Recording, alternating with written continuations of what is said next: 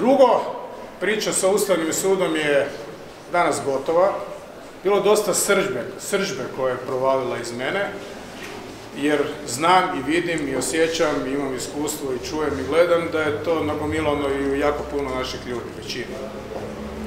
Bio sam grub, prema potrebi ću biti grub i dalje, nikad ne prostačim, ili ako to napravim, a ne napravim, to ne napravim svjesno, sve sam rekao, sve je jasno, pokušaja da me se zbuni, a ti pokušaje su uvijek osuđeni na propast, ili intimidira, preplaši, skrene su uzaludni, ali bit će i dakle, da se sludi, da se zaludi i isprepada i druge sudionike u procesu, sve je jasno, maske padaju i idemo dalje. Danas sam u Rijeci, Rijeci pravde.